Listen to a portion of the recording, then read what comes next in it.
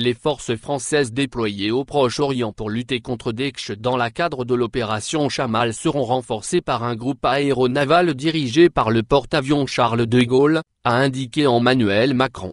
Le porte-avions Charles de Gaulle et son groupe aéronaval seront déployés prochainement au Levant pour soutenir les forces françaises opérant au Proche-Orient dans le cadre de l'opération Chamal.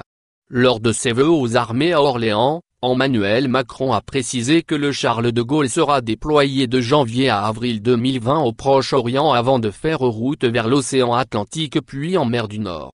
Le président a souligné que cette force européenne, tout comme le déploiement Lynx dans les pays baltes, devait renforcer le lien transatlantique et l'OTAN, preuve supplémentaire que défense européenne et OTAN sont les deux piliers d'un même édifice. Jeudi 16 janvier, le ministère des Armées a fait savoir que les quelques 200 soldats français déployés à Bagdad avaient repris cette semaine leurs activités dans le cadre de la mission de formation des militaires irakiens, suspendue après la frappe américaine contre Qasem Soleimani.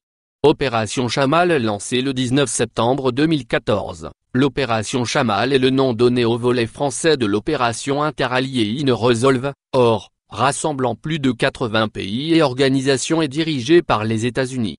Selon le ministère des Armées, l'opération a deux principaux objectifs, apporter un soutien militaire aux forces locales engagées contre Daesh sur leur territoire et participer aux formations des forces de sécurité irakiennes.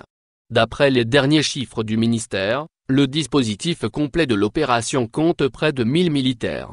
Il comprend également plus d'une centaine de militaires projetés à Bagdad pour la formation et le conseil de l'état-major et des unités irakiennes.